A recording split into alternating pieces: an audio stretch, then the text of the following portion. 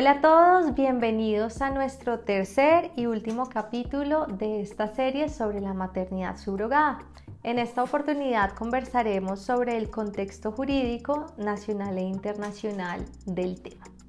En primer lugar, quiero compartirles cuáles son las tipologías de regulación o de legislación que puede haber o que hay hoy en día alrededor de este tema. Hablaremos en primer lugar de la regulación restrictiva, que es aquella que prohíbe de manera absoluta esta práctica de la maternidad subrogada. este tipo de regulación restrictiva hoy en día está vigente en lugares como la China, como en España, donde es claro que no está permitido este tipo de técnicas justamente por los argumentos de los que hablamos en nuestra anterior entrega, por esa afectación que se hace sobre la dignidad de la persona, de los niños y de la mujer madre gestante. En segundo lugar, encontramos la regulación de tipo permisiva restrictiva. Ese es el tipo de regulación que sí te permite que funcione este tipo de prácticas, pero que lo hace con ciertas condiciones. Por ejemplo, en algunos estados de México, de Estados Unidos, se encuentra este tipo de regulación y establecen distintos criterios para que pueda funcionar y para que sea permitida. Por ejemplo, que la mujer gestante ya haya tenido hijos, que ya conozca la experiencia de la maternidad, o por ejemplo, que solo pueda ser celebrada entre personas nacionales del mismo estado, o por ejemplo, que solo pueda ser solicitada por personas eh, que tengan una relación estable y algunos estados incluso exigen que sea una pareja heterosexual eh, y así distintos criterios que si bien te dicen está permitida, está permitida bajo ciertas condiciones. Y en tercer lugar está la regulación permisiva absoluta, que es aquella donde se permite eh, con total claridad y con total puertas abiertas la ejecución de esta técnica. En los principales lugares donde se cuenta con este tipo de legislación es, por ejemplo, en Ucrania, que es conocida como un destino turístico eh, de reproducción sexual justamente eh, por esa percibividad que hay para la puesta en práctica de esta técnica. Bien, Conociendo estos tipos de legislaciones, hablemos un poco del contexto colombiano.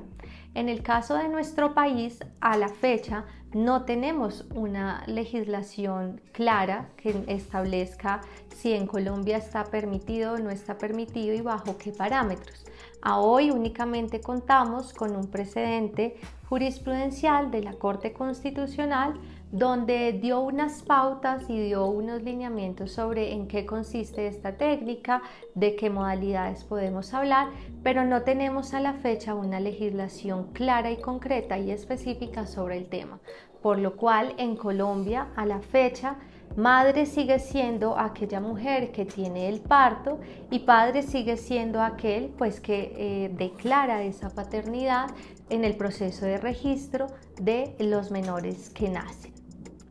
Ahora bien, hablemos un poco del contexto internacional. Como les contaba, pues existen distintas modalidades de legislación y cambian pues de acuerdo a las culturas y de acuerdo a los matices de cada país. Sin embargo, actualmente existe desde el año 2023, en marzo, se hizo una declaración internacional por la abolición y prohibición universal de la maternidad subrogada es conocida como la Declaración de Casablanca, de la cual desde el Instituto de la Familia somos miembros firmantes y pues promovemos esa idea de que esta técnica de reproducción de la maternidad subrogada debe ser prohibida de manera absoluta en la medida en que son mayores los riesgos, mayores las amenazas y de que existen unos mecanismos distintos y alternativos para satisfacer ese deseo de ser padres de las personas que están buscando esa contratación de este tipo de técnicas. Por lo cual tenemos un contexto jurídico amplio, variante, que nos pone el tema sobre la mesa en la medida en que hace un par de semanas también el Papa Francisco hizo una declaración en la que también está invitando a los distintos estados a que se realice esa prohibición de este tipo de técnicas.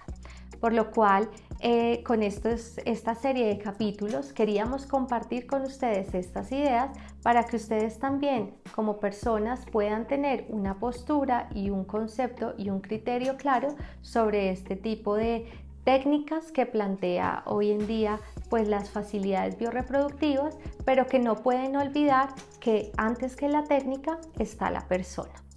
Gracias por su sintonía con estos tres capítulos. Si tienen alguna pregunta, algún interés de profundizar en alguno de los datos o de las informaciones que hemos compartido en estos tres capítulos, déjenos sus comentarios en, la casilla que encuentran abajo y con mucho gusto las responderemos en un escenario de la familia en vivo o a través de nuestros distintos medios de comunicación.